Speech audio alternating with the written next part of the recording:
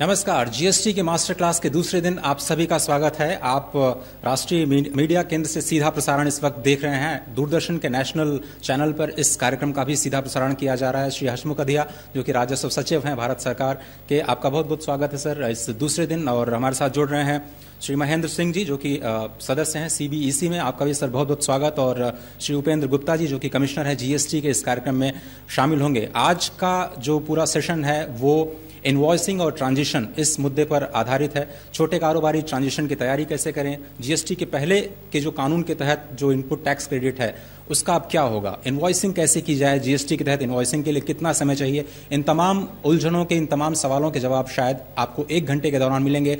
मैं आप सभी का स्वागत करता हूँ पूरे राज्य सरकारों में, जो भी वित्त मंत्रालय के अधिकारी हैं सीबीएसई के अधिकारी हैं, राज्य सरकार के अधिकारी हैं, और जो कारोबारी और जो टैक्स प्रैक्टिशनर्स इस प्रोग्राम को लाइव देख रहे हैं, उनका भी स्वागत। और यहाँ पर जो बैठी जनता, जो ट्रेडर्स विभाग के अधिकारी और जो मीडिया के बंधु हैं, आप सभी का स्वागत है। राजस्व सचिव श्री हसमुख अधिया जी से मैं निवेदन करता हूँ कि वो अपने इनिशियल रिमार्क्स रिमार्क्स के बाद जो आज का प्रेजेंटेशन है, उसकी एक तरह से गाइडेंस दें हमें। नमस्कार। आज का जो द्वितीय जीएसटी की मास्टर क्लास में आप सबका स्वागत है।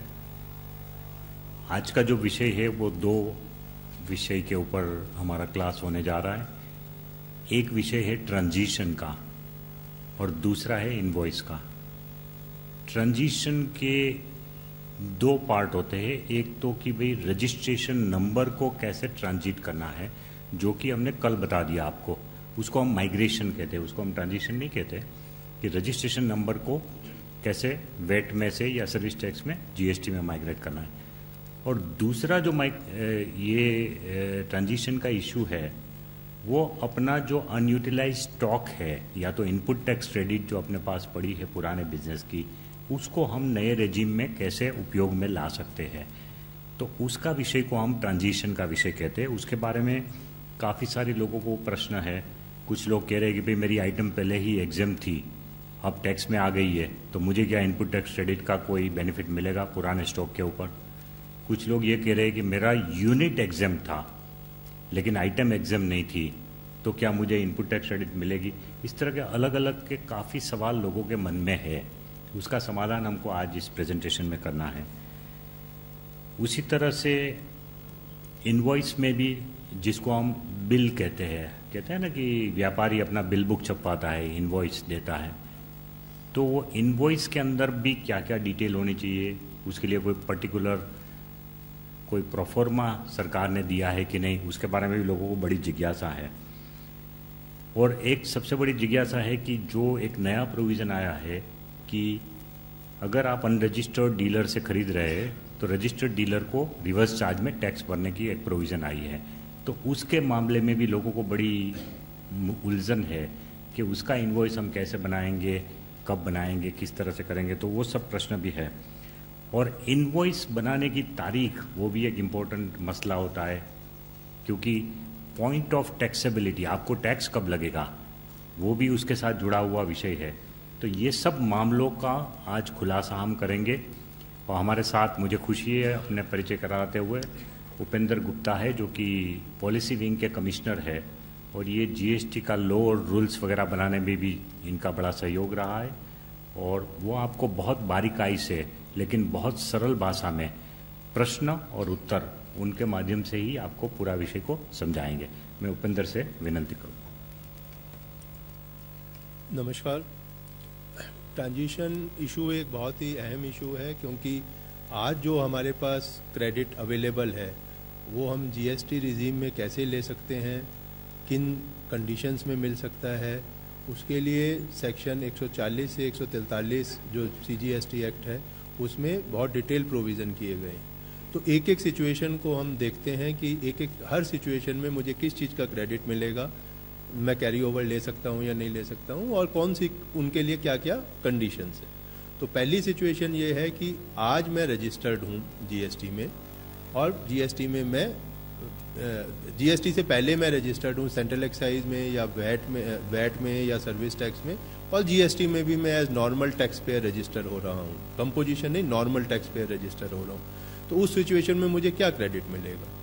ऐसी स्थिति में आप आज रिटर्न फ़ाइल करेंगे सेंट्रल एक्साइज में भी सर्विस टैक्स में भी 30 जून की जो रिटर्न फ़ाइल होगी, वो जुलाई के महीने में फ़ाइल होगी तो उस रिटर्न में जो भी क्लोजिंग बैलेंस होगा, उसका आप ओपनिंग बैलेंस के रूप में जीएसटी में उसका क्रेडिट कैरी ओवर कर सकते हैं, जो आपका इलेक्ट्रॉनिक क्रेडिट रजिस्टर होगा, उसमें आप उस क्रेडिट को ले सकते हैं। तो उसके लिए क्या क्या आपको पूरा करना होगा? एक तो जैसा मैंने पहले कहा कि आपको नॉर्मल टैक्स पेयर रजिस्ट्रेशन होना रजिस्टर करना पड़ेगा, ना कि एज कंपोजिशन टैक्स पेयर दूसरी उसमें कंडीशन ये है कि आपके पास क्लोजिंग बैलेंस तो है, लेकिन उन चीज़ों से रिलेटेड क्लोजिंग बैलेंस है जो जीएसटी में उसका आईटीसी मिलता है। फॉर एग्जांपल सेस है, जैसे सेस का अगर क्लोजिंग बैलेंस है आपकी रिटर्न में तो कृषि कल्याण सेस है या एजुकेशन सेस है, उसका क्रेडिट क्योंकि जीएसटी में अवेलेबल नहीं है तो बैलेंस वहाँ होते हुए भी आप उसका क्रेडिट नहीं ले सकते हैं जीएसटी में। तीसरी चीज़ जो कंडीशन लॉ में रखी गई है, वो ये रखी गई है कि आपने अपनी पिछले छह महीनों की रिटर्न सबमिट की हुई हो। इसका मतलब जनवरी से जून तक की रिटर्न आपकी सबमिट होनी चाहिए, तभी आप वो क्रेडिट कैरी ओवर कर सकते हैं। और कितना क्रेडिट आप लेंगे, उसके लिए एक जीएसटी रूल्स में एक फॉर्म रखा गया है, जिसको हम जीएसटी ट्रेन वन बोलते हैं। और उसकी टेबल फाइव में आपको सिर्फ़ डिक्लेयर करना है कि मेरा क्लोजिंग बैलेंस इतना था और मेरा ओपनिंग बैलेंस इतना हो गया। वो ट्रेंड वन जो है, आपको एकदम सबमिट करने की ज़रूरत नहीं है। आप उसके लिए तीन महीने का समय रूल्स में रखा गया है और ये भी प्रोविज़न किया गया है कि उसको कमिश्नर उस पीरियड को एक्सटेंड भी कर सकता है। ऐसी भी कंडीशन नहीं है कि आप एक ही बार सबमिट कर सकते हैं। अगर आपने सबमिट कर दिया, फिर आपको कोई और गलती नज़र आई क्योंकि आप रिटर्न रिवाइज कर सकते हैं। सेंट्रल एक्साइज में भी रिटर्न रिवाइज करने का प्रोविज़न है वैट में भी है सर्विस टैक्स में भी है। तो अगर आपने रिटर्न रिटर्न रिवाइज की अपनी तो आप टेन वन में जो डिक्लेयर किया, उसकी वैल्यू को भी आप रिवाइज कर सकते हैं। तो जितना आपका क्लोजिंग बैलेंस है, उतना आप कैरी ओवर कर सकते हैं। दूसरी सिचुएशन ऐसी है कि कैपिटल गुड्स आपने खरीदे थे 30 जून से पहले। अब सेंट्रल एक्साइज में और सर्विस टैक्स में हम 50 परसेंट क्रेडिट आज ले सकते हैं और 50 परसेंट क्रेडिट हम अगले माह में, अगले वर्ष में ले, वित्तीय वर्ष में ले सकते हैं। तो जो रिटर्न में आपका बैलेंस होगा उससे रिलेटेड, वो आपका सिर्फ़ 50 परसेंट होगा। तो जो बाकी बचा हुआ 50 परसेंट है, उसका क्या होगा? क्योंकि वो रिटर्न में तो होगा नहीं। तो उसके लिए ये सिचुएशन रखी गई है, जो प्रोविज़न किया गया है, वो ये है कि आप उस रिमेनिंग अमाउंट जो आपने नहीं लिया था पिछले वित्तीय वर्ष में और वो रिटर्न में भी नहीं आ रहा है, इसलिए उतना अमाउंट का क्रेडिट आप ले सकते हैं और उसके लिए आपको ट्रांस वन भरना पड़ेगा, उसकी टेबल सिक्स है, उसमें आप वो इन्फॉर्मेशन भर देंगे। यहाँ मैं ये भी क्लियर करना चाहूँगा कि कोई भी प्रावधान ऐसा नहीं है कि हम उसको वेरीफाई करेंगे, तब आप क्रेडिट लेंगे। आप क्रेडिट सिर्फ़ डिक्लेरेशन सबमिट करने पे ही ले सकते हैं। बाद में अगर डिपार्टमेंट चाहेगा किसी पर्टिकुलर सिचुएशन में तो वेरिफिकेशन कर सकते हैं, लेकिन जनरली हम वेरिफिकेशन नहीं करेंगे। ये सेल्फ असेस टैक्स है। आप जितना आप डिक्लेयर करेंगे, आप उतना क्रेडिट ले सकते हैं। अब उसके बाद दो तीन सिचुएशन एक साथ हम देखते हैं। तीसरी सिचुएशन ऐसी है कि जहाँ पर मैं आज रजिस्टर्ड ही नहीं था, क्योंकि मेरी जो है, जो मैं बनाता था, या तो मैं डेढ़ करोड़ से कम था, उस सिचुएशन में क्या होगा? या मेरे, मैं सारे एग्जामेटेड प्रोडक्ट्स बनाता था, मैं ड्यूटीएबल कोई भी नहीं बनाता। तो उसमें क्या मुझे क्रेडिट मिलेगा? आपके पास जो स्टॉक होगा तीस जून को, वो रॉ मटेरियल का स्टॉक होगा। आपके पास फिनिश गुड्स का स्टॉक होगा। फिनिश गुड्स में रॉ मटेरियल यूज़ हुआ होगा या सेमी प्रोसेस गुड्स होंगी। तो जो प्रोविज़न किया गया है लॉ में, वो ये है कि अगर आपके पास ऐसा स्टॉक है और आप अनरजिस्टर्ड यूनिट थे सेंट्रल एक्साइज में या वैट में तो आपको क्रेडिट उतना मिलेगा जितना आपका इनपुट्स जो है स्टॉक में पड़ा हुआ है। और इनपुट्स जो कि आपने फिनिश गुड्स जो आपके पास स्टॉक में पड़े हुए हैं, उससे रिलेटेड जो इनपुट्स यूज़ हुआ होगा उस फिनिश गुड्स को बनाने में, उससे रिलेटेड आपको क्रेडिट मिलेगा, लेकिन उसके लिए कुछ कंडीशन निर्धारित की गई है। वो तीन सिचुएशन की कंडीशन मैं आपको आगे बताऊँगा। चौथी सिचुएशन ये है कि जहाँ पर मैं आज कंपोजिशन टैक्स पेयर के रूप में रजिस्टर्ड था। जनरली ये वैट में होगा सेंट्रल एक्साइज में तो कंपोजिशन स्कीम थी नहीं। तो उस सिचुएशन में क्या होगा कि मैं पहले कंपोजिशन टैक्स पेयर था, मैं जीएसटी में as normal tax payer register हो रहा हूँ। तो उस सिचुएशन में क्या होगा? इस सिचुएशन में भी जो आपके पास स्टॉक पड़ा होगा, उसमें जो इनपुट्स यूज़ हुए होंगे या इनपुट्स एज सच आपके पास पड़े हुए होंगे, उससे रिलेटेड जितना भी एक क्रेडिट होगा, वो भी आपको मिलेगा। कंडीशंस में अभी, जैसा मैंने पहले कहा कि मैं बताता हूँ। अगली सिचुएशन ऐसी है कि जहाँ पर मैं ड्यूटीएबल भी बनाता था एग्जाम्ट भी बनाता था। तो जो मैं ड्यूटीएबल बनाता था, उससे रिलेटेड तो मैं क्रेडिट भी ले रहा था, उससे रिलेटेड इनपुट्स का मेरा क्रेडिट रिटर्न में भी आ रहा था, और वो मेरा रिटर्न में जो क्रेडिट आ रहा था, जो पहली सिचुएशन हमने डिस्कस की थी, उससे मेरे को ट्रांसफ़र हो गया था मेरे इलेक्ट्रॉनिक क्रेडिट लेजर लेकिन ऐसी सिचुएशन जहाँ पर मैं दोनों बना रहा था तो जो एग्जेम्प्टेड से रिलेटेड इनपुट से या उसमें जो उन एग्जेम्प्टेड गुड्स जो फिनिश गुड्स थे, उसमें जो इनपुट यूज़ हुए हुए थे, उससे रिलेटेड मेरे को क्रेडिट आज नहीं मिलता था। लेकिन जीएसटी में वो गुड्स टैक्सेबल हो रही हैं। तो उस सिचुएशन में मुझको क्या क्रेडिट मिलेगा? वही क्रेडिट मिलेगा जैसा पहले हमने दो सिचुएशन में देखा कि जितने इनपुट्स आपके पास स्टॉक में हैं, उसका क्रेडिट मिलेगा।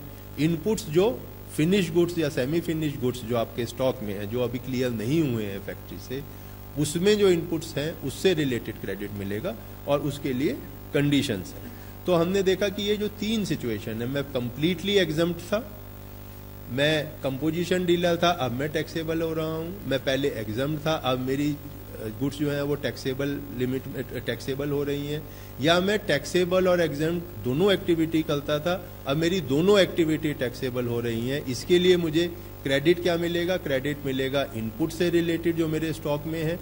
और जो इनपुट्स जो फिनिश गुड्स जो स्टॉक में है, उसमें जो इनपुट यूज़ हुए हैं, उससे रिलेटेड क्रेडिट मिलेगा। यहाँ पर ये बात नोटिस करने की है कि यहाँ पर हम क्रेडिट जो है, वो पहली दो सिचुएशंस में जहाँ पर मैं एग्जेम्प्टेड और टैक्सेबल को छोड़ के, जहाँ मैं एग्जेम्प्टेड कंप्लीटली एग्ज़ाम था, या मैं कंपोजिशन था, आज मुझे कैपिटल गुड्स का क्रेडिट नहीं मिलता है। तो इन दोनों सिचुएशन में कैपिटल गुड्स का क्रेडिट नहीं मिलेगा। मुझे मिलेगा सिर्फ़ इनपुट से रिलेटेड क्रेडिट और दूसरी सिचुएशन कि इनपुट सर्विस से रिलेटेड क्रेडिट भी मुझे नहीं मिलेगा। जो कि तीसरी सिचुएशन है, जहाँ पर मैं एग्जेम्प्टेड और ड्यूटेबल दोनों बना रहा था, उसमें, उस सिचुएशन में मुझे इनपुट्स का क्रेडिट भी मिलेगा। इनपुट्स जो फिनिश गुड्स में कंटेन है, उसका भी मिलेगा और कैपिटल गुड्स का जो क्रेडिट है, वो भी मिलेगा क्योंकि आज के लॉ में अगर मैं दोनों चीज़ें करता हूँ टैक्सेबल और एग्जेम्प्टेड दोनों एक्टिविटीज़ करता हूँ तो मुझे क्रेडिट पूरा मिलता है कैपिटल गुड्स का। तो जो कैपिटल गुड्स का क्लोजिंग बैलेंस होगा, वो मेरी रिटर्न से ही आ रहा होगा, क्योंकि मैं रिटर्न में मैंने क्रेडिट लिया होगा, या अगर मैंने पिछले साल में ही खरीदी थी ऐसी कैपिटल गुड्स तो मैंने 50 परसेंट लिया होगा तो 50 परसेंट क्रेडिट मेरा सिचुएशन नंबर दो जो हमने पहले डिस्कस की थी, उससे आ रहा होगा। अब इन तीनों सिचुएशन में क्या कंडीशन हैं जिनको मुझे ध्यान में रखना है क्रेडिट लेने के लिए?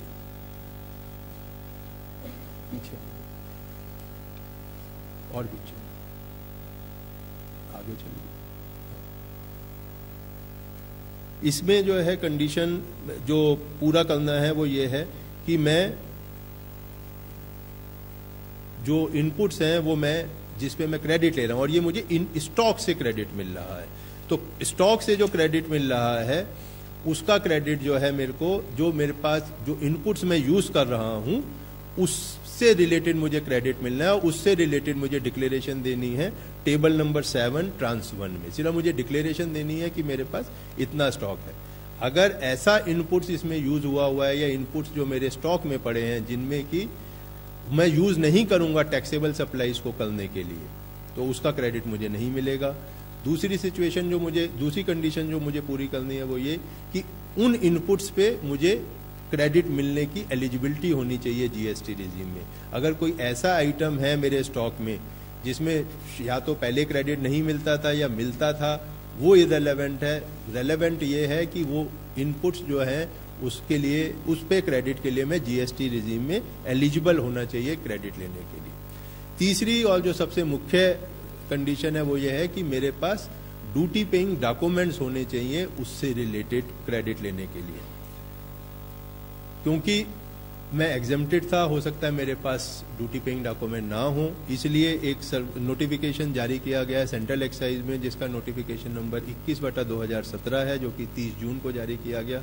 उसमें एक हमने नया डॉक्यूमेंट प्रेस्क्राइब किया है, जिसको हम बोल रहे हैं क्रेडिट ट्रांसफ़र डॉक्यूमेंट इस क्रेडिट ट्रांसफ़र डॉक्यूमेंट को यूज़ करके, हालाँकि आपके पास ड्यूटी पेइंग डॉक्यूमेंट्स हो सकता है ना हो तो उस सिचुएशन में आप ये क्रेडिट ट्रांसफ़र डॉक्यूमेंट यूज़ कर सकते हैं, अपने मैन्युफैक्चरर से जिससे आपने माल खरीदा था, वो इशू करेगा इस क्रेडिट को। उसके लिए दो चार कंडीशंस हैं। तो सीटीडी की जो कंडीशन है, मैं अभी आता हूँ उसके ऊपर। नेक्स्ट जो कंडीशन पूरी करनी है, वो ये है कि जिन इनवाइस पे मैं क्रेडिट लेना चाहता हूँ, वो एक साल से पुरानी नहीं होनी चाहिए, क्योंकि मैं एक जुलाई को क्रेडिट ले रहा हूँ तो 30 जून 2016 से पुरानी इनवाइस नहीं होनी चाहिए। अगर वो ड्यूटी पेइंग डॉक्यूमेंट 30 जून 2016 से पुराना है तो मुझे, मैं उस डॉक्यूमेंट के ऊपर क्रेडिट लेने के लिए हकदार नहीं रहूँगा। और लास्ट सिचुएशन जो मैंने कहा, वो ये कि मुझे डिक्लेरेशन देनी है स्टॉक की। वो टेबल सेवन और जो फॉर्म है जीएसटी ट्रेन वन जो सीजीएसटी रूल्स का पार्ट है, उसमें मुझे डिक्लेरेशन देनी है। और इसके लिए भी कंडीशन वही है कि तीन महीने में मतलब 30 सितंबर तक डिक्लेरेशन देनी है। इस डेट को बढ़ाया भी जा सकता है। और अगर कुछ गलती हुई तो इस ट्रांस टेबल सेवन को रिवाइज भी किया जा सकता है। अब मैं अब मैं क्रेडिट ट्रांसफ़र डॉक्यूमेंट के बारे में कुछ प्रकाश डालना चाहूँगा। ये क्रेडिट ट्रांसफ़र डॉक्यूमेंट क्या चीज़ है? ये जानना ज़रूरी है कि ये credit transfer document excise act में जारी किया गया है। जैसा मैंने पहले कहा, नोटिफिकेशन नंबर 21 बटा सत्रह से। ये क्रेडिट ट्रांसफ़र डॉक्यूमेंट जो है, मैन्युफैक्चरर से हम जारी करा सकते हैं। और ये इंपोर्टेड गुड्स के लिए नहीं है।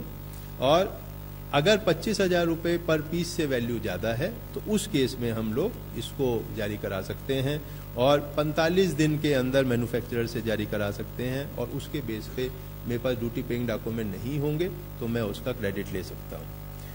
ये क्रेडिट ट्रांसफ़र डॉक्यूमेंट मैं यूज़ करूँगा अगर मेरे पास ड्यूटी पेइंग डॉक्यूमेंट्स नहीं है।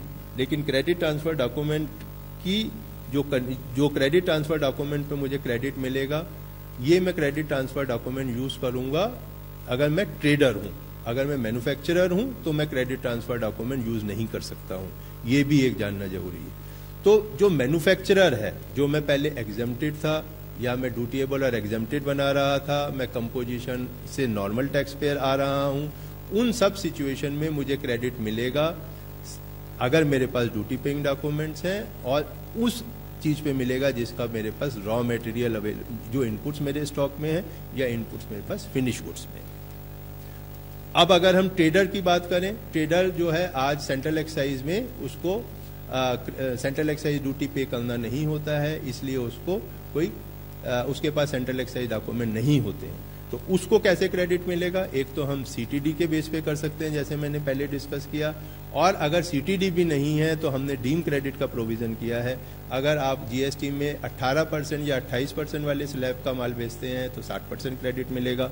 और अगर 5 या 12 परसेंट वाले का बेचते हैं तो 40 परसेंट स्लैब मिलेगा। ये सिर्फ़ ट्रेडर के लिए फैसिलिटी है मैन्युफैक्चरर के लिए नहीं है, ये बात नोट करने की और इसमें जो और कंडीशन है वो ये है कि मुझे जीएसटी ट्रेंड टू के में जीएसटी ट्रेंड टू में डिक्लेरेशन देना होगा और ये जो मेरे को क्रेडिट मिलेगा, मेरे को उस महीने में मिलेगा जिस महीने में मैं गुड्स बेचूँगा और ये स्कीम छह महीने के लिए वैलिड है। अब अगर मैं पहले वैट में रजिस्टर्ड था तो क्या मुझे सीएसटी का क्रेडिट मिलेगा? तो उसका सीएसटी का कोई क्रेडिट नहीं मिलेगा, मुझे वैट का क्रेडिट मिलेगा। और जो सीएसटी के जो फॉर्म्स थे C form F form H form उससे रिलेटेड क्रेडिट मिलेगा, उससे क्रेडिट नहीं मिलेगा। जब वो फॉर्म्स आप सबमिट कर देंगे तो उसके बारे में उसका रिफंड मिलेगा। नेक्स्ट सिचुएशन है कि मैं पहले आईएसडी के तौर पे रजिस्टर्ड था। तो क्या मैं, मेरे को अगर इनवाइस जो है जुलाई के महीने में मिली तो क्या मैं आईएसडी के रूप में उन इनवाइस जो सर्विस टैक्स की इन्वाइस मेरे को जुलाई के महीने में मिली, मैं क्रेडिट ट्रांसफ़र कर सकता हूँ। तो प्रोविज़न किया गया है कि आप उसका भी क्रेडिट आप ट्रांसफ़र कर सकते हैं, जिनको आप, जो एलिजिबल हैं क्रेडिट ट्रांसफ़र के लिए। नेक्स्ट सिचुएशन है कि मैं आज सेंट्रली रजिस्टर्ड था। सर्विस टैक्स में सेंट्रली रजिस्टर्ड था। अब जीएसटी में सेंट्रल सेंट्रलाइज रजिस्ट्रेशन का कोई प्रावधान नहीं है। तो जो मेरी इनपुट का क्रेडिट था मेरी रिटर्न एक ही एक ही कॉमन थी तो एक ही जगह मेरा पूरा क्रेडिट था। तो क्या मैं जब रजिस्ट्रेशन लूँगा और हर स्टेट में लूँगा तो रजिस्ट्रे उसका क्रेडिट मेरे को एक ही जगह मिलेगा जहाँ मैं सेंट्रली रजिस्टर्ड हूँ या मेरे को आ, बाकी जगह भी मिलेगा? तो प्रावधान किया गया है कि आप जो है जो भी पहले आपने प्रीमाइसिस दिखाई हुई थी सेंट्रलाइज रजिस्ट्रेशन में उसमें आप ट्रांसफ़र कर सकते हैं और वो डिक्लेरेशन आप इंफॉर्मेशन उसकी इंफॉर्मेशन आप डिक्लेयर फ़ाइल कर सकते हैं in GST TRAN one table eight next situation है कि मेरी, मैं जीएसटी में तो माइग्रेट हो गया, लेकिन मेरे कुछ रिफंड क्लेम पेंडिंग है, मेरी कुछ डिमांड पेंडिंग है, मेरी कुछ अपील पेंडिंग है तो उस सिचुएशन में क्या होगा? तो प्रावधान ये है लॉज में कि अगर आपका जो है रिफंड बनता है तो एग्जिस्टिंग लॉ मतलब central excise law VAT law service tax law में डिसाइड होगा। और अगर उसमें आपको रिफंड बनता है तो हम कैश में भी रिफंड देंगे। हालाँकि आज कैश में रिफंड नहीं मिलता है सेंट्रल एक्साइज और सर्विस टैक्स में, लेकिन जीएसटी में हमने प्रावधान किया है कि आपको रिफंड भी मिल जाएगा। और अगर रिकवरी होनी है किसी चीज़ में, क्योंकि मेरी अपील रिजेक्ट हो गई या मेरे अगेंस्ट डिमांड क्रिएट हो गई तो उस सिचुएशन में हमने प्रावधान किया हुआ है लॉ में कि या तो वो पहले हम एग्जिस्टिंग लॉ में रिकवरी करने की कोशिश करेंगे और अगर एग्जिस्टिंग लॉ में नहीं कर पाएँगे तो हम जीएसटी लॉ में करेंगे। नेक्स्ट सिचुएशन है कि मैंने कॉन्टैक्ट एक जुलाई से पहले किया था, लेकिन सप्लाई मैंने एक जुलाई के बाद की। तो क्या मुझे जीएसटी देना है या मुझे पुराना टैक्स देना है? तो इसके बारे में प्रोविज़न है कि मुझे जीएसटी लॉ दे जीएसटी देना है अगर मैंने पुराने लॉ में टैक्स सेंट्रल एक्साइज या सर्विस टैक्स या वैट नहीं दिया हुआ तो ये ट्रांजिशन प्रोविज़न से रिलेटेड जानकारियाँ थी। अब मैं टैक्स इनवाइस की बात करता हूँ। तो टैक्स इनवाइस में अगर हम बात करें तो टैक्स इनवाइस कौन इनवाइस इशू कर सकता है? Tax invoice registered person issue कर सकता है, जिसने रजिस्ट्रेशन लिया हुआ है। और वो दो सिचुएशन में कर सकता है। या तो वो सप्लाई कर रहा है, तब वो रजिस्टर तब जो है वो इनवाइस इशू करेगा। और अगर, या वो सर्विस रिसीव कर रहा है अनरजिस्टर्ड पर्सन से। तो अगर मैं सप्लाई कर रहा हूँ तो उसमें भी एक एक्सक्लूजन रखा हुआ है कि अगर मैं ऐसी सप्लाई करता हूँ जिसकी वैल्यू दो सौ रुपए से कम है, और वो बी टू बी सप्लाई नहीं है, कोई कंज्यूमर आ रहा है मेरे पास और मेरे से वो गुड्स या सर्विसेज़ ले रहा है जिसकी वैल्यू दो सौ रुपए से कम है, और वो इनवाइस इंसिस्ट नहीं कर रहा है तो मैं इनवाइस इंडिविजुअल इनवाइस इशू ना करके मैं सप्लाई कर दूँगा और एंड ऑफ़ द डे मैं एक कंसोलिडेटेड इनवाइस इशू कर दूँगा जितनी भी ऐसी सप्लाई मैंने की है, जिसकी मैंने दिन के दौरान में इनवाइस इशू नहीं की थी। जहाँ तक एज रिसिपियंट मुझे इनवाइस इशू करने की बात है तो मुझे ये इनवाइस इशू करनी है, उन केसेस में, और उस समय इशू करनी है, जब मैं गुड्स या सर्विसेज़ रिसीव कर रहा हूँ। यहाँ पर एक इंपॉर्टेंट प्रोविज़न जैसा राजेश सचिव ने पहले कहा था कि हमने यहाँ पे प्रोविज़न किया है कि आपको इनवाइस तो इशू करनी है, लेकिन ये एक बहुत ही ज़्यादा कंप्लायंस बर्डन आ रहा था तो नाइन फोर में हमने एक एग्जामेशन दी है। अगर आप पाँच हज़ार रुपए तक का सामान खरीदते हैं, एक या एक से ज़्यादा अनरजिस्टर्ड सप्लायर से तो वो एग्जाम्ट है, कोई जीएसटी नहीं देना है। लेकिन अगर पाँच हज़ार रुपए से ज़्यादा की परचेज है अनरजिस्टर्ड पर्सन से तो क्या हर समय जब मैं परचेज करूँगा, मुझे इनवाइस इशू करनी है? ऐसा नहीं है। आपको इनवाइस इशू करनी है, तब महीने के अंत में। तो महीने के दौरान में ऐसी परचेजेज जो पाँच हज़ार per day from one per from one और मोर सप्लायर थी, उसकी ये कंसोलिडेट इनवाइस इशू करके मंथ एंड में आप टैक्स दे सकते हैं। टैक्स तो बीस बीस ऑफ़ द फॉलोइंग मंथ को ही देना है, लेकिन इनवाइस जो है आप last day of the month को दे सकते हैं। टैक्स इनवाइस में क्या इंपॉर्टेंट आइटम्स हैं जो होने चाहिए? एक तो सप्लायर का जीएसटी होना चाहिए सीरियल नंबर इनवाइस का होना चाहिए डेट ऑफ़ इशू होनी चाहिए। रिसिपियंट अगर रजिस्टर्ड है तो उसका जीएसटी होना चाहिए क्योंकि उसको क्रेडिट मिलना है। और अगर वो रजिस्टर्ड नहीं है तो नेम और एड्रेस होना चाहिए। एचएसएन कोड होना चाहिए। एचएसएन कोड दो डिजिट होगा या चार डिजिट होगा या छह डिजिट होगा, वो मैंने आगे एक स्लाइड में रखा है। डिस्क्रिप्शन ऑफ़ गुड्स या सर्विसेज़ होना चाहिए। और अगर मैं गुड्स बेच रहा हूँ तो क्वांटिटी होनी चाहिए। और क्या होना चाहिए? वैल्यू ऑफ़ सप्लाई होनी चाहिए। टैक्सेबल वैल्यू ऑफ़ सप्लाई होनी चाहिए। टैक्स रेट सेंट्रल टैक्स और स्टेट टैक्स का क्या रेट है? या इंटीग्रेटेड टैक्स का क्या रेट है? और अगर सेस लग रहा है तो सेक्स का क्या रेट है? अमाउंट ऑफ़ टैक्स कितना है, वो होगा। प्लेस ऑफ़ सप्लाई मुझे डिक्लेयर करनी है कि प्लेस ऑफ़ सप्लाई मेरी क्या है। और अगर प्लेस ऑफ़ सप्लाई और address of delivery bill to ship to cases को हैंडल करने के लिए प्रोविज़न रखा गया है कि bill to so so and so ship to so and so उस केस में मुझे एड्रेस ऑफ़ डिलीवरी देना है। और मुझे ये डिक्लेयर करना है कि क्या मुझे रिवर्स चार्ज पे टैक्स तो नहीं देना है इस इनवाइस पर। क्या मेरे बायर को तो नहीं देना है? और लास्ट जो है उसमें सिग्नेचर ऑफ़ अथोराइज सिग्नेटरी है। यहाँ पे काफ़ी भ्रांतियाँ हैं कि हम ई इनवाइस ही इशू कर सकते हैं, या डिजिटल सिग्नेचर अथोराइज सिग्नेटरी के होना चाहिए। ऐसा कोई प्रावधान लॉ में नहीं है। आप मैनुअल इनवाइस भी दे सकते हैं। आप बिना डिजिटल सिग्नेचर के भी इनवाइस इशू कर सकते हैं। जो रिक्वायरमेंट है बी टू बी में सप्लाई अपलोड करने की, वो कुछ पर्टिकुलर डिटेल ही अपलोड करनी है, ना कि पूरी इनवाइस। तो इस तरह की कोई इनवाइस लगेगी, अगर हम देखेंगे या बाद में देख सकते हैं, जो जो सर्कल है, ये इंपॉर्टेंट चीज़ें हैं, जो कि इनवाइस में नज़र आएँगी। एच एस एन कोड जो है वो कितने डिजिट तक देना है, उसका हमने एक नोटिफिकेशन जारी किया बारह बटा दो हज़ार सत्रह, अट्ठाईस जून को। उसमें हमने बोला कि अगर आपकी turnover one point five crore तक है तो आपको एच एस एन कोड देना ही नहीं है। ना तो आपको इनवाइस में देना है, ना आपको रिटर्न में देना है। अगर आपकी डेढ़ से पाँच करोड़ तक की टर्नओवर है एनुअल टर्नओवर तो आपको दो डिजिट पे देना है। और अगर पाँच करोड़ से ज़्यादा है तो चार डिजिट पे देना है। इनवाइस कैसे रेस करेंगे? इनवाइस रेस करने में अगर गुड्स आप सप्लाई कर रहे हैं तो इनवाइस ट्रिप्लीकेट में इशू होगी, और अगर आप सर्विसेज़ सप्लाई कर रहे हैं तो डुप्लीकेट में होगी। अगर गुड्स के केस में ओरिजिनल कॉपी रिसिपिएंट के लिए होगी, जो आपका बायर है डुप्लीकेट कॉपी ट्रांसपोर्टर को दी जाएगी, जो कि गुड्स के साथ कैरी करेगा ट्रिप्लीकेट कॉपी मेरी ऑफ़िस कॉपी होगी। और अगर जो सप्लाई ऑफ़ सर्विसेज़ के केस में डुप्लीकेट में होगी ओरिजिनल मेरे बायर के लिए होगी डुप्लीकेट मेरी खुद की कॉपी होगी। जो एक हमने आज कई राज्यों में और सेंटर में भी इनवाइस का नंबर बताना होता है। तो इन जीएसटीआर वन जो कि अभी फ़ाइल नहीं करनी है, जैसा आप सबको विदित है कि दो महीने बाद जीएसटीआर वन टू थ्री का प्रोविज़न आएगा। जीएसटीआर थ्री भी फ़ाइल करनी है, लेकिन जब जीएसटीआर वन का प्रोविज़न आएगा तो आपने महीने के दौरान में नॉर्मल टैक्स पेयर ने और कंपोजिशन टैक्स पेयर ने क्वार्टर के दौरान में कितनी इन्वाइस इशू करी है from which number to which number वो एक टेबल में इंफॉर्मेशन भरनी है। इन्वाइस कब रेस करनी है? अगर मैं टैक्सेबल सप्लाई कर रहा हूँ, तब करनी है। गुड्स के केस में अगर गुड्स का मूवमेंट इन्वॉल्व है तो जब मैं रिमूव कर रहा हूँ गुड्स तब करनी है। अगर मूवमेंट ऑफ़ गुड्स नहीं है तो जब मैं डिलीवरी कर रहा हूँ अपने कस्टमर को, तब करनी है। और अगर रिटर्न सेल और रिटर्न है तो उस केस में विद इन सिक्स मंथ्स मेरे को इन्वाइस इशू करनी है। सर्विसेज़ के केस में, क्योंकि ये पता नहीं चलता है कि किस टाइम सर्विस इशू हुई तो 30 days of supply of service के विद इन थर्टी डेज़ मुझे इनवाइस इशू करनी है। ये आज का प्रावधान है जो सर्विस टैक्स में भी है। इंश्योरेंस एंड बैंकिंग कंपनी को 45 दिन का टाइम दिया गया है इनवाइस इशू करने का।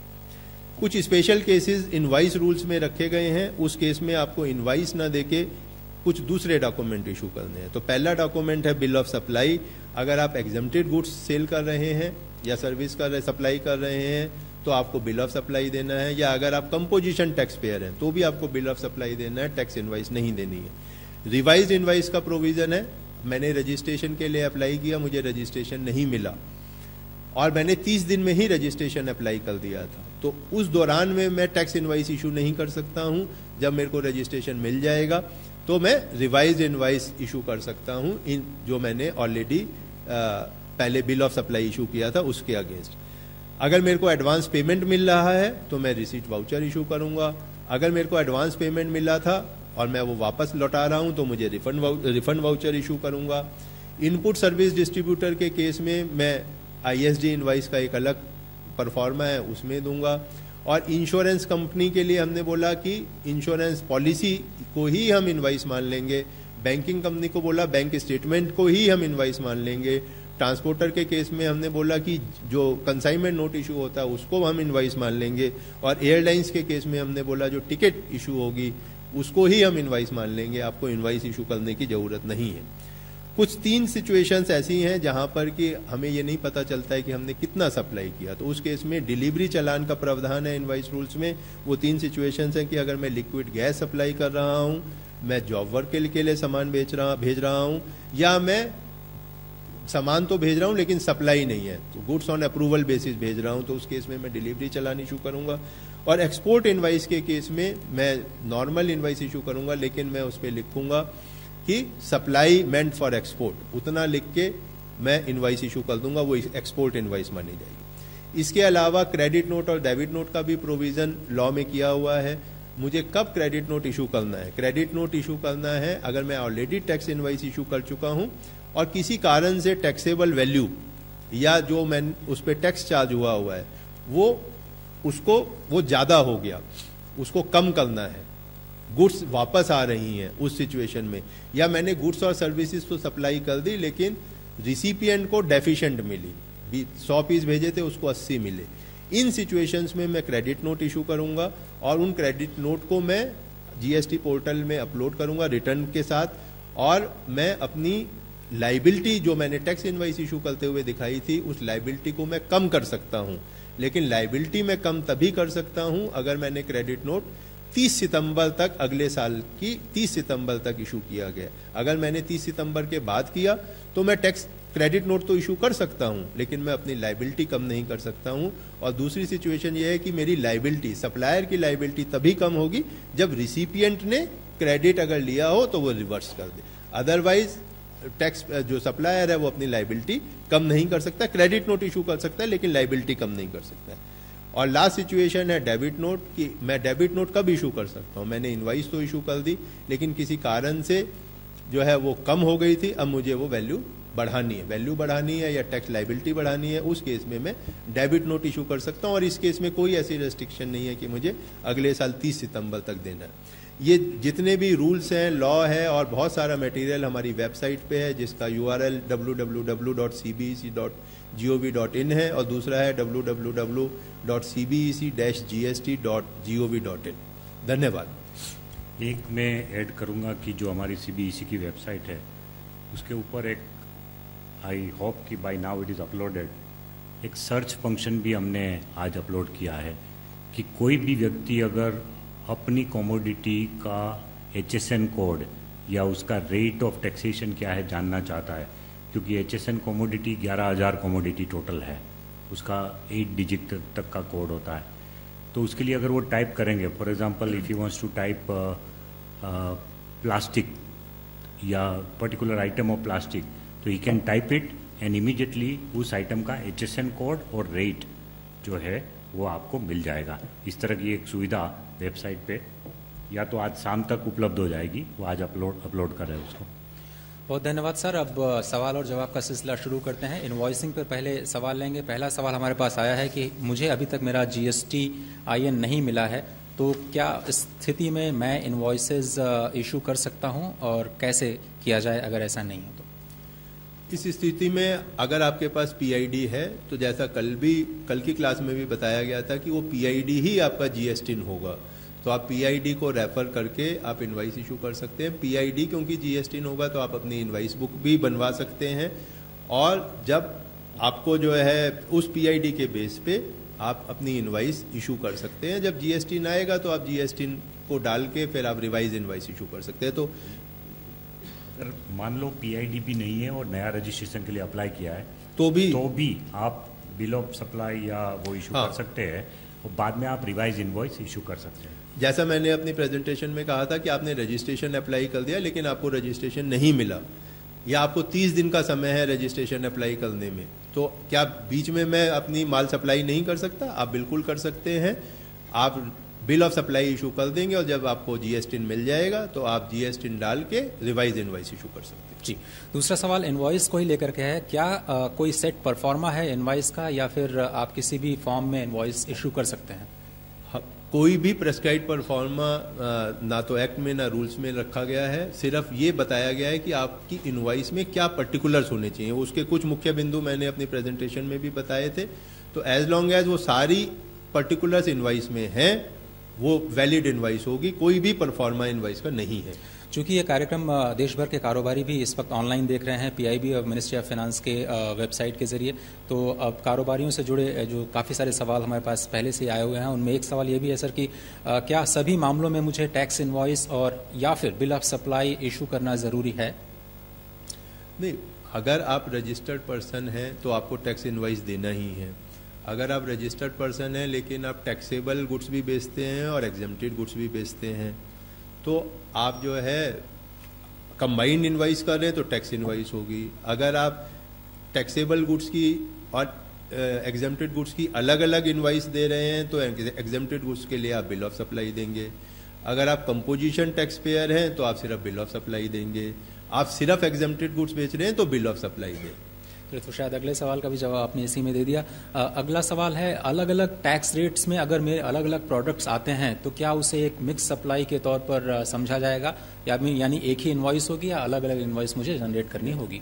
अगर आप ऐसे सामान बेच रहे हैं जो अलग अलग टैक्स रेट में आ रहे हैं और आप उसकी वैल्यू भी अलग अलग दिखा रहे हैं उसका टैक्स रेट भी अलग अलग है तो आप एक ही इन्वाइस में सारे आइटम्स को लिख सकते हैं उसका क्या टैक्स रेट है वो लिख सकते हैं उसका टैक्स कितना बन रहा है वो लिख सकते हैं।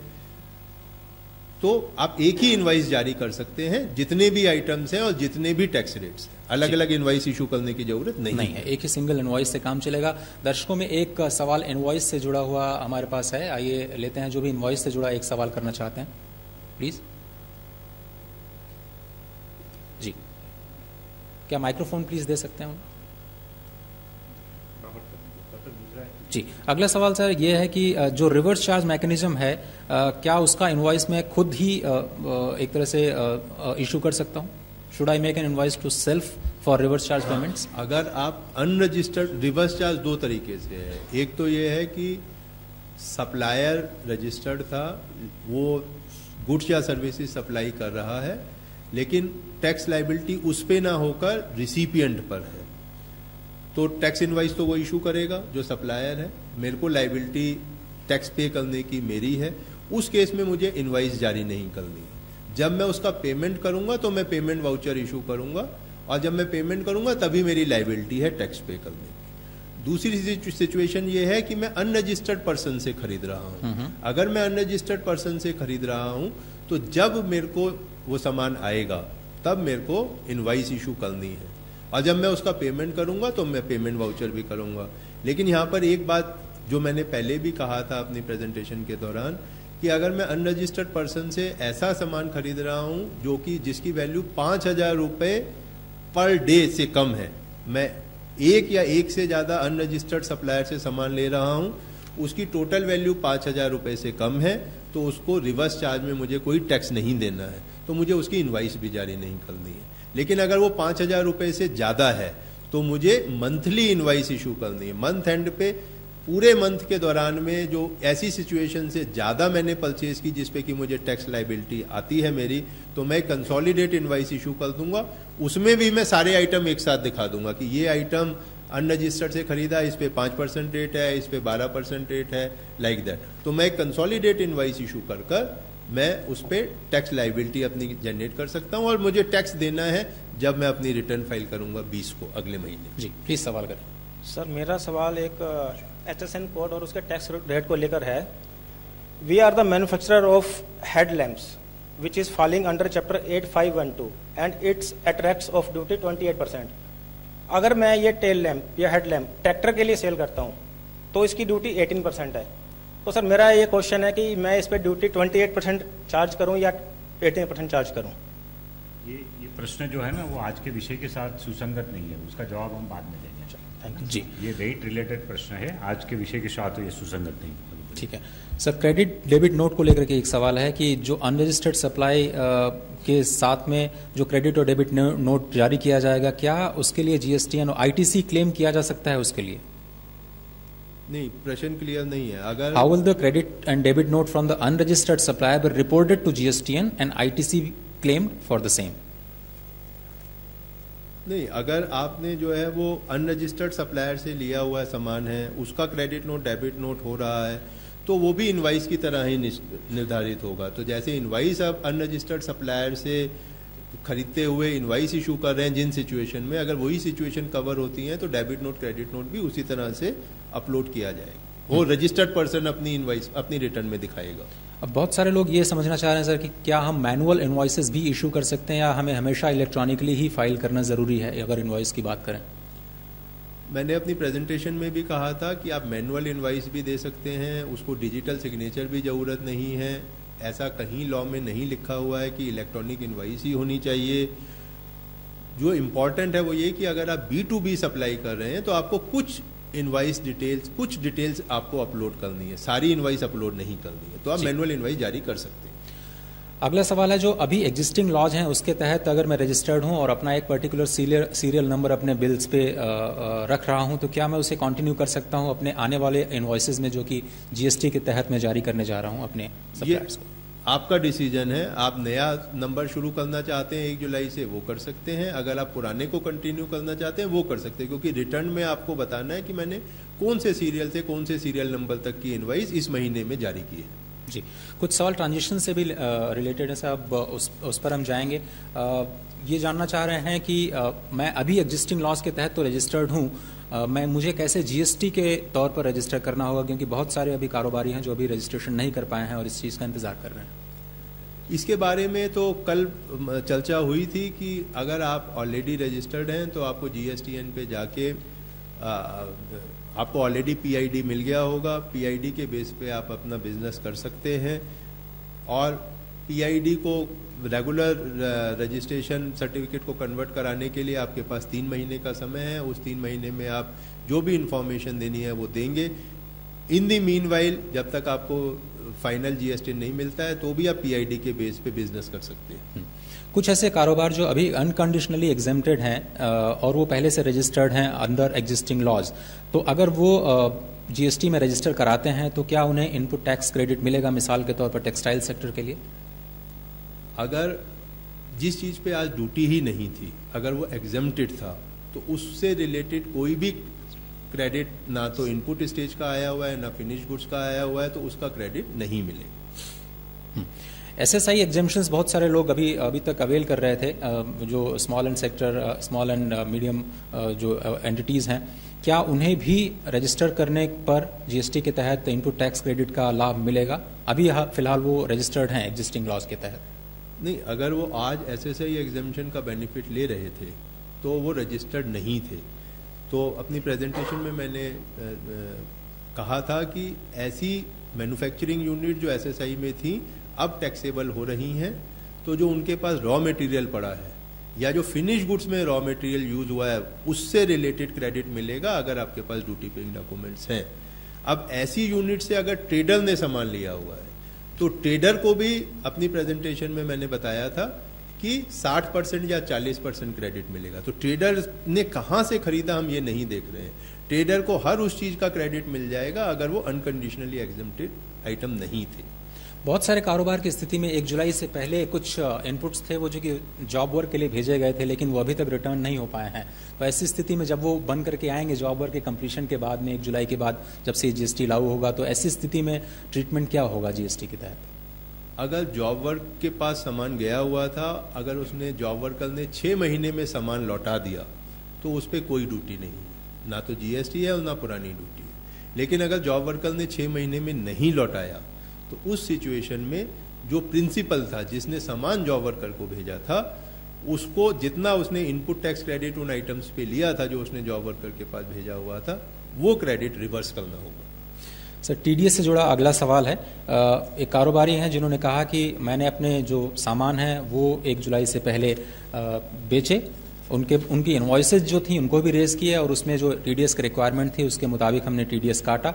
लेकिन जो मेरी पेमेंट आई, वो एक जुलाई के बाद आई। तो क्या जीएसटी के तहत भी कोई टीडीएस का प्रावधान है?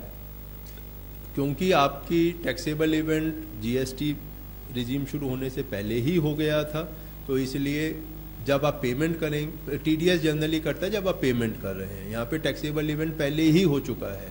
तो जब आप पेमेंट करेंगे तो टीडीएस नहीं लगेगा, क्योंकि टैक्सेबल एक्टिविटी जीएसटी रिजीम शुरू होने से पहले ही हो गई। सर, आपने प्रेजेंटेशन में जो इनपुट टैक्स क्रेडिट है, उसको कैरी फॉरवर्ड करने के जो तरीके हैं, उस पर डिटेल से बताया, लेकिन एक जुलाई से पहले अगर किसी एजेंट के पास मेरे जो सामान या फिर जो कैपिटल गुड्स हैं, वो पड़े हुए हैं तो उसके बाद उसकी स्थिति क्या होगी कैरी फॉरवर्ड को लेकर के? ये जो प्रिंसिपल एजेंट का कंसेप्ट था, ये सिर्फ़ स्टेट लॉज में है आज सेंट्रल लॉज में नहीं है। तो एस में इसके प्रोविज़न किए हुए हैं कि एजेंट को क्रेडिट मिलेगा कुछ कंडीशंस अगर वो सेटिस्फाई करेगा जो कि एस रूल्स में मेंशन है। वो कंडीशन है कि एजेंट रजिस्टर होना चाहिए जीएसटी में। प्रिंसिपल और एजेंट दोनों स्टॉक डिक्लेयर करें। प्रिंसिपल बताएगा कि एजेंट के पास कितना पड़ा है। एजेंट बताएगा कि प्रिंसिपल के पास किस प्रिंसिपल का सामान मेरे पास कितना है। और वहाँ पे भी वही कंडीशन है कि उनसे रिलेटेड इनवाइस एक साल से पुरानी नहीं होनी चाहिए। तो अगर ये कंडीशन पूरी करेंगे तो एजेंट को भी क्रेडिट मिलेगा। अब इस सर्विस सेक्टर से जुड़ा एक सवाल है, सर। बहुत सारे लोग सर्विसेज़ में डील करते हैं। जो एडवांस में उन्होंने सर्विस टैक्स पे कर दिया है, वर्क कॉन्ट्रैक्ट सर्विसेज़ के लिए, लेकिन जो सप्लाई है वो एक जुलाई के बाद आ रही है। तो फिर ऐसे में जो जीएसटी का ट्रीटमेंट है, वो कैसे किया जाएगा? जितनी सर्विस आप जीएसटी रिजीम के बाद देंगे, उससे रिलेटेड आपको टैक्स देना है। अगर आपने पहले ही एडवांस पेमेंट कर दिया है टैक्स का तो सर्विस टैक्स में आज एडवांस पे भी टैक्स लगता है। तो ऐसी सिचुएशन हो सकती है कि जहाँ पे आपको एडवांस पहले मिल गया हो। तो आपने टैक्स भी पहले दे दिया हो लेकिन सर्विस हो सकता है आप बाद में दें। तो सर्विस आप बाद में दें लेकिन उससे पहले रिले, रिलेटेड अगर आप टैक्स पहले ही दे चुके हैं तो जीएसटी में सर्विस देने के बावजूद भी आपको टैक्स नहीं देना है क्योंकि उससे रिलेटेड टैक्स पहले ही आ गया है। क्रेडिट को लेकर के एक सवाल है कि I had to make an सेंडवे credit reversal due to the non payment prior to the first of July 2017 uh, उसके बाद में अगर पेमेंट एक जुलाई के बाद आ रही है तो फिर क्या क्रेडिट को आप अलाउ करेंगे? लॉ में प्रोविज़न है कि ऐसी सिचुएशन में हम क्रेडिट अलाउ करेंगे, क्योंकि आज भी प्रावधान है सर्विस टैक्स लॉ में सैंडवेट क्रेडिट रूल्स में, कि अगर आपने क्रेडिट लिया था आपको पे, नॉन पेमेंट की वजह से रिवर्स करना पड़ा। जब आप पेमेंट करते हैं फिर क्रेडिट मिलता है। ऐसा ही प्रावधान हमने ट्रांजिशनल रूल में भी किया हुआ है। जी ट्रांजिशन पे अंतिम सवाल हमारे पास है। मेरा जो ओल्ड कॉन्ट्रैक्ट है वो रिवाइज हो गया है। उसकी जो कीमतें हैं उसमें भी बदलाव आ गया है। तो क्या जीएसटी के तहत जो ट्रीटमेंट है उसमें भी कुछ बदलाव आएगा? अगर आपका कॉन्ट्रैक्ट जो है उसकी वैल्यू बढ़ रही है तो आपको बढ़ी हुई कीमत पे जीएसटी देना होगा। क्योंकि बढ़ी हुई वैल्यू को हम जीएसटी में सप्लाई मानेंगे। और अगर आपका डाउनवर्ड रिविजन हो रहा है तो उसमें आप क्रेडिट नोट दे सकते हैं। और जो क्रेडिट नोट का ट्रीटमेंट है वो हमने पहले ही चर्चा की है। माननीय सचिव महोदय इस वक्त हमें पंद्रह मिनट और हैं तो आज कढ़िया हैश टैग आज कढ़िया पे बहुत सारे सवाल जो हैं वो आ, हमें आए हुए हैं ट्विटर पे और बहुत सारे मीडिया के बंधु भी हमारे साथ इस वक्त हैं तो अगर आप इजाज़त दें तो हम सोशल मीडिया के सवाल और मीडिया के लिए इस सेशन को ओपन कर सकते हैं। तो पहले चलिए मैं ट्विटर से शुरू करता हूँ उससे उसके बाद अगर कोई मीडिया के बंधु हैं, कुछ सवाल करना चाहते हैं तो स्वागत है।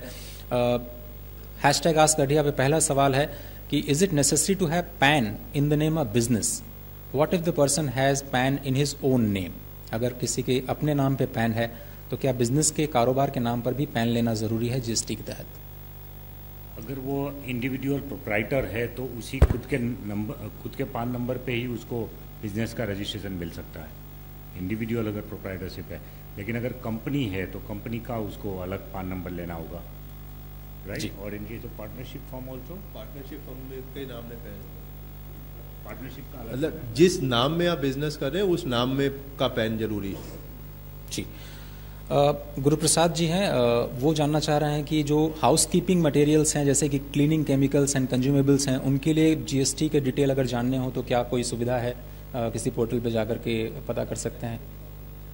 ने जैसे अभी बताया कि वो सर्च फैसिलिटी हमने वेबसाइट पे डाली हुई है किसी भी व्यक्ति को अगर ये जानना है कि मेरे जो प्रोडक्ट है जिसका मैं ट्रेडिंग कर रहा हूँ या मैन्युफैक्चरिंग कर रहा हूँ उसके ऊपर क्या रेट है तो प्रोडक्ट का नाम नाम टाइप करने से वो आ जाता है तो उससे वो पता कर सकते हैं।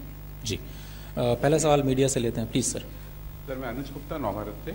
मेरा सवाल ट्रांजिशन से जुड़ा हुआ है। देश के कई शहरों में बड़े कपड़ा व्यापारी जो हैं वो हड़ताल पर हैं। उनके स्टॉक जो उनके पास रखा हुआ गोदाम में उसको लेकर ही शायद ट्रांजिशन की दिक्कत उनको आ रही है। क्या सरकार ने इस बारे में उनसे बात की है या बातचीत करने का कोई इरादा है? देखिए, ऐसा है कि जैसे बताया कि जो एग्ज़ाम कॉमोडिटी थी पहले, उसके ऊपर जब आप नए रजीम में आएँगे, पहली बार टैक्स लग रहा है।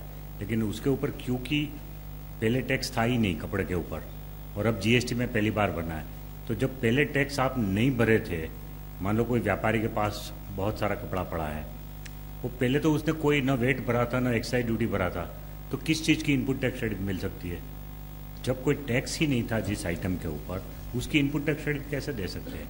तो सवाल ये है कि वो आइटम पहली बार अगर टैक्स में आ रही है तो पहली बार तो उनको टैक्स भरना ही है फाइव परसेंट सर, एक सवाल ट्विटर पे है, शुभदीप मजूमदार का। वो जानना चाहते हैं कि मैं एक आईटी सर्विसेज़ पूरे देश में देता हूँ और मेरा जो ऑफ़िस है, वो केवल मुंबई में है। तो क्या मुझे अलग अलग मल्टीपल जीएसटी रजिस्ट्रेशन की ज़रूरत होगी?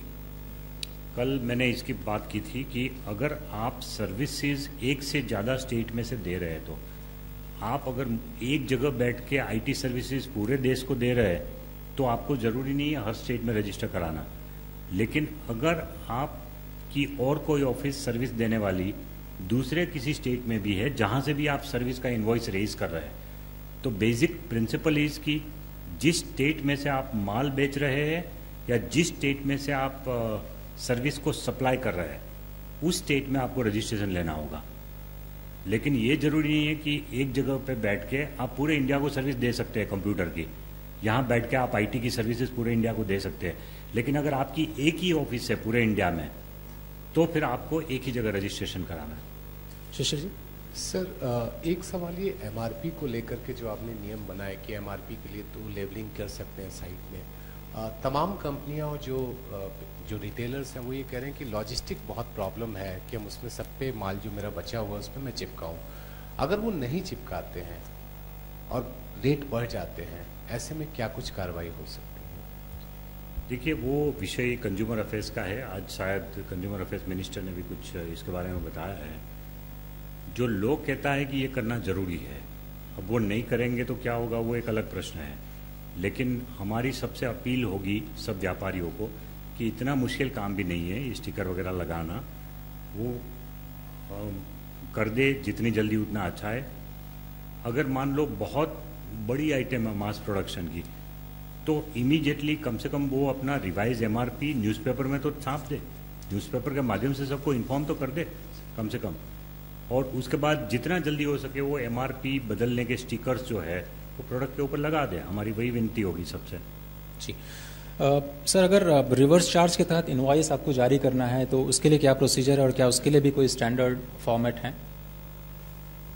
इसमें जैसा मैंने पहले भी बताया था कि इनवाइस का कोई फॉर्मेट नहीं है। इनवाइस में क्या पर्टिकुलर्स होंगे वही रखने बत, वो लॉ में वो रूल में लिखा हुआ है। रिवर्स चार्ज के लिए भी वही फॉर्मेट्स है वही पर्टिकुलर्स है।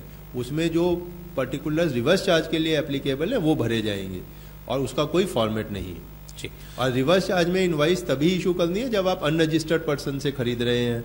और अगर पाँच हज़ार रुपये पर डे फ्रॉम वन और मोर पर्सन है तो मंथली इनवाइस दे जारी करनी जी ट्विटर पे अगला सवाल रंगा स्वामी शेखर का है वो टेक्सटाइल डीलर हैं।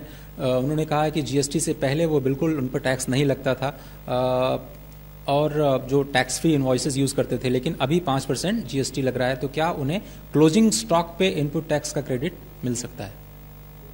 उन्होंने भी वही पहले भी क्वेश्चन यही पूछा था और प्रेजेंटेशन के दौरान भी कहा था कि क्योंकि टेक्सटाइल एग्जेम्प्टेड प्रोडक्ट था उस पर कोई भी टैक्स आज नहीं लगा हुआ है ना तो वैट ना तो सेंट्रल एक्सेस तो उससे रिलेटेड इनपुट टैक्स क्रेडिट का कोई प्रावधान लॉ में नहीं जी पूछे अपना सवाल। सर अगर मोबाइल बिल या क्रेडिट कार्ड बिल जो है 25 जून को जनरेट होता है और उसकी ड्यू डेट होती है 10 जुलाई तो जब हम बिल पेमेंट करते हैं तो वो जीएसटी के दायरे में होगा या पुराना टैक्स लगेगा उस पर इसी के इसी के बारे में था कि आज सर्विस टैक्स में क्या प्रोविज़न है? कि date of issue of invoice और date of payment whichever is earlier तो अगर मेरे को एडवांस मिल गया तो पहले मिल गया इनवाइस जारी करने से पहले तो जिस दिन एडवांस मिला, उस दिन मेरी टैक्स लाइबिलिटी है।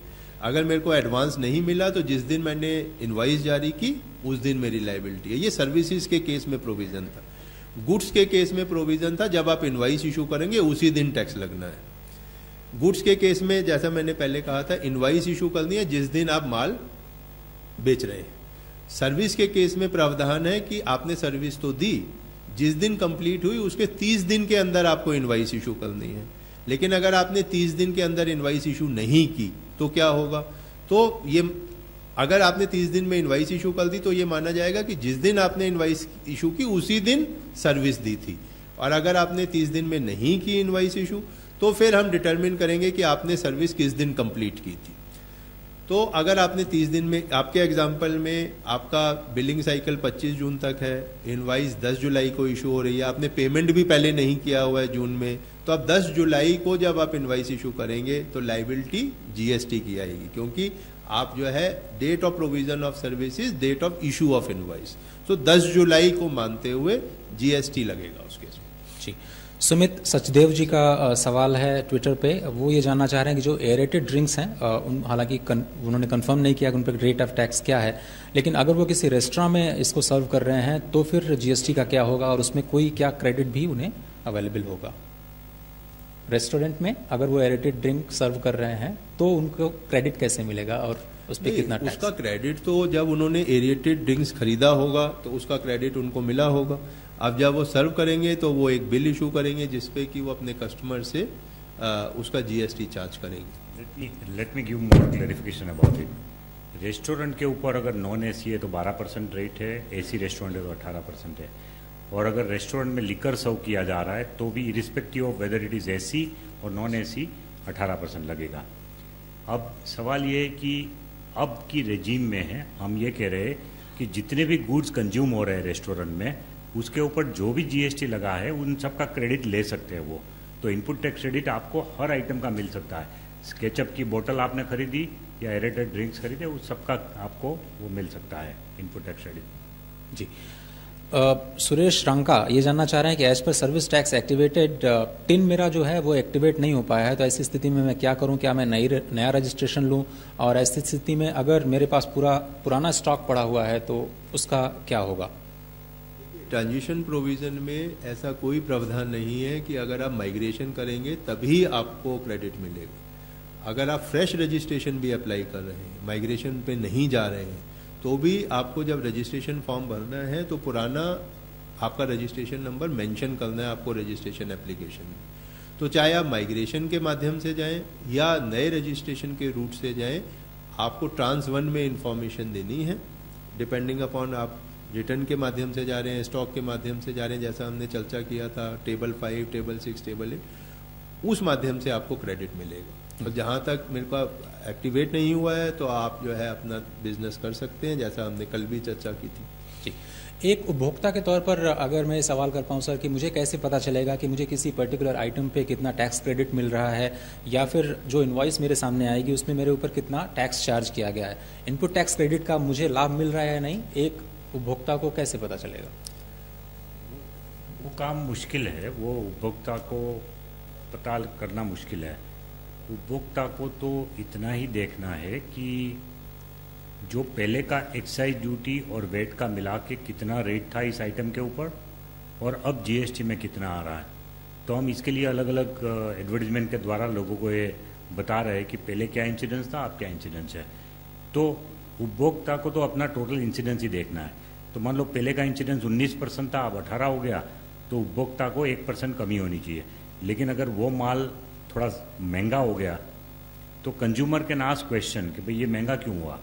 क्योंकि पहले भी 19 परसेंट का इंसिडेंस था और अब भी 18 परसेंट का। सो वो थोड़ा मुश्किल है वो पता करना कंज्यूमर के लिए कि कितना इनपुट टैक्स क्रेडिट मिला, कितना नहीं। वो तंत्र के लिए ज़रूरी है जानना कि भाई कितना इनपुट टैक्स क्रेडिट इसको मिल सकता है और उसने लिया और उसके प्रपोर्शनेट उसने प्राइस में रिडक्शन किया कि नहीं किया वो तंत्र को पता रह सकता है। कंज्यूमर को करना थोड़ा मुश्किल होता है। जी। राजेश कुमार बेरिया जी जानना चाह रहे हैं ट्विटर के ज़रिए। कमर्शियल व्हीकल ओनर जिन्होंने अभी तक सी नोट इशू नहीं किया है और वो किसी जीटीए से जो व्हीकल्स हैं वो हायर करते हैं तो क्या उनको जीएसटी के अंतर्गत रजिस्ट्रेशन कराना होगा? नोट की बात करें? जी। एक्चुअली जहाँ पे जीटीए है उसमें तो रिवर्स चार्ज का प्रावधान है कि जो है जो रिसिपियंट है कुछ पर्टिकुलर कैटेगरीज में उसमें उनको जीएसटी देना है। लेकिन अगर वो कंसाइनमेंट नोट इशू नहीं करते और जीटीए नहीं है तो जो सर्विस प्रोवाइड कर रहा है उसी को टैक्स देना है। जी। और कोई सवाल अगर मीडिया से है? जी लक्ष्मण जी एक प्लीज़ माइक्रोफोन दे दें। सर मान लीजिए मेरा दिल्ली में मेरी, मेरी कंपनी है और बॉम्बे हम जाकर रुकते हैं, वहाँ पे होटल में बिल चुकाते हैं। तो वहाँ के इनपुट वहाँ पे जो टैक्स चुकाते हैं इनपुट टैक्स क्रेडिट के लिए। बॉम्बे में क्या रजिस्टर्ड होना, महाराष्ट्र में रजिस्टर्ड होना ज़रूरी होगा हमारा? ऐसा राजस्व सचिव साहब ने भी पहले बताया था कि आपको रजिस्ट्रेशन लेना है वहाँ पर जहाँ से आप सप्लाई कर रहे हैं। इस एग्ज़ाम्पल में आप सिर्फ़ होटल में जाके रह रहे हैं। तो इसका प्लेस ऑफ़ सप्लाई महाराष्ट्र ही है। तो जो होटल है, वो आपसे सीजीएसटी और एसजीएसटी चार्ज करेगा। आपका महाराष्ट्र में कोई रजिस्ट्रेशन है नहीं दिल्ली में रजिस्ट्रेशन तो आप उस क्रेडिट को नहीं ले पाएँगे क्योंकि अगर वो आईजीएसटी लगा होता तो आप क्रेडिट ले सकते थे लेकिन क्योंकि सीजीएसटी और एसजीएसटी लग रहा है तो आप जो है उसका क्रेडिट नहीं ले पाएँगे फाइनली इस प्रोग्राम में केवल दो मिनट बचे हैं। श्री अडिया जी अगर कोई क्लोजिंग कमेंट आपकी तरफ़ से है स्वागत। मैं आप सबका धन्यवाद करता हूँ कि इस कार्यक्रम को बड़ा अच्छा समर्थन आप लोगों ने दिया। हमारी ये कोशिश है कि आ, ये कार्यक्रम के ज़रिए हम देश के लाखों व्यापारियों और कारोबारियों तक पहुँच सके लाखों कंज्यूमर तक भी पहुँच सके। एक कमेंट हमको जो मिला है वो ये है कि भाई इस कार्यक्रम का जो टाइमिंग है वो व्यापारियों के लिए अनुकूल नहीं है। साढ़े चार से साढ़े पाँच में व्यापारी ज़्यादातर अपने अपने व्यवसाय में बिज़ी होते हैं। तो उनके लिए हमारी विनती ये है कि इस कार्यक्रम का काफ़ी रिपीट भी कुछ चैनल वगैरह करने वाले हैं। और उस रिपीट के टाइम उनको देख सकते और वो नहीं तो भी ये पूरे कार्यक्रम हमारे यूट्यूब पे अवेलेबल है। व्हाट्सएप से भी एक दूसरे को भेज रहे हैं यूट्यूब का लिंक तो आप यूट्यूब से उसको निकाल के एक दूसरे को भेज सकते हैं। और जब भी आपको कन्वीनियंस हो अपने मोबाइल फ़ोन में भी देख सकते हैं और अपने कंप्यूटर में भी कभी भी देख सकते हैं। धन्यवाद। बहुत बहुत शुक्रिया राजस्व सचिव श्री हसमुख अधिया जी, महेंद्र सिंह जी, आपका भी बहुत बहुत शुक्रिया और उपेंद्र गुप्ता जी, आपका बहुत बहुत शुक्रिया इस कार्यक्रम में वक्त निकालने के लिए और जो तमाम ट्रेडर्स से और लोगों से सवाल मिले हैं उसका जवाब देने के लिए। कल की जो क्लास है वो कॉम्पोजिशन और रिकॉर्ड कीपिंग पे है। वो 11 से 12 बजे इसी जगह फिर से हम करेंगे और आज के जो कार्यक्रम का आप रिपीट टेलीकास्ट डी न्यूज़ पर कल सुबह नौ से 10 के बीच में देख सकते हैं। तो नौ से 10 वो प्रोग्राम देखिए और उसके बाद 11 से 12 यहाँ पर लाइव नेशनल पर जाइए और कंपोजिशन और रिकॉर्ड कीपिंग पर इस क्लास में फिर से आप शामिल हो सकते हैं। फ़िलहाल जीएसटी की मास्टर क्लास के दूसरे दिन सिर्फ़ इतना ही। दीजिए इजाज़त। नमस्कार।